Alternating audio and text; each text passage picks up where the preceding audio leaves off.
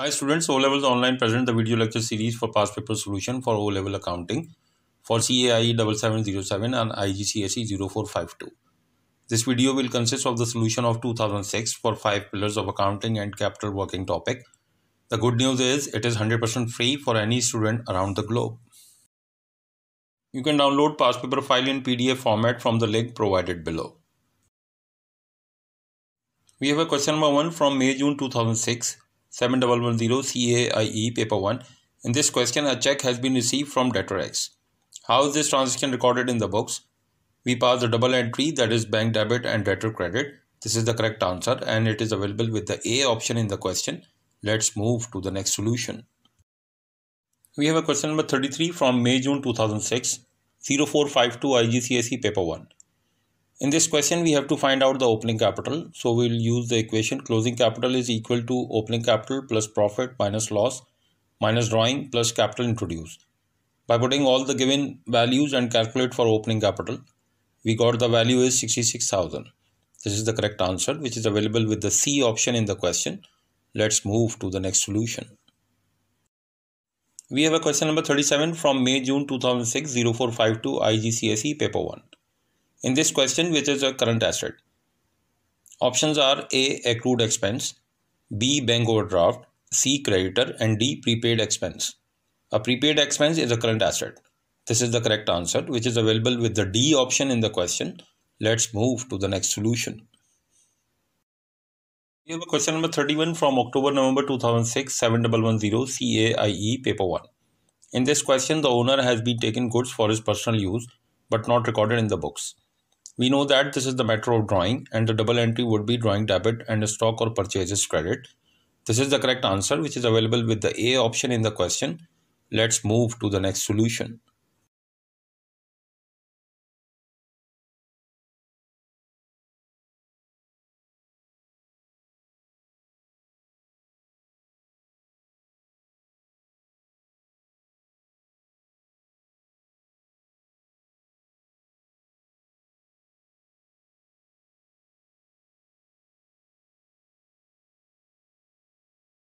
We have a question number 3 from October November 2006 0452 IGCSE paper 1.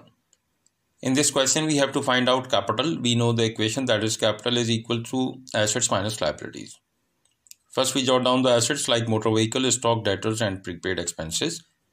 By putting all given corresponding values we'll get the assets value is 14500. Now list down the liabilities like creditors and bank overdraft. By putting all given corresponding values, we'll get the liabilities figure is 3500. We will put assets and liabilities figure in the main equation for capital working and we'll get capital value is 11,000.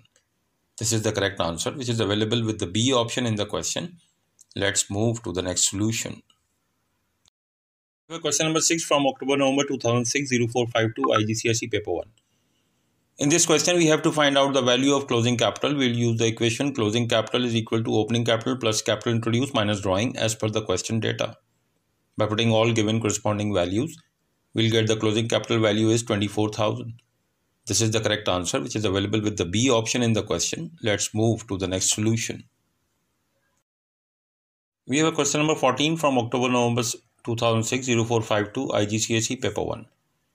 In this question, a trader bought a motor vehicle for his business use on credit from Sango. How is this recorded in his ledger? As per double entry motor vehicle debit and Sango credit, this is the correct answer which is available with the C option in the question. Let's move to the next solution. We have a question number 18 from October November 2006 0452 IGCSE paper 1. In this question, what is mean by trial balance? Available options are A. All the arithmetic in the ledger is correct. B. All the transactions have been entered in the correct ledger accounts. C. All the transactions have been entered in the correct side of the ledger. And D. Total debit balances equal total credit balances in the ledger. Total debit and credit balances are equal. This is the correct answer which is available with the D option in the question.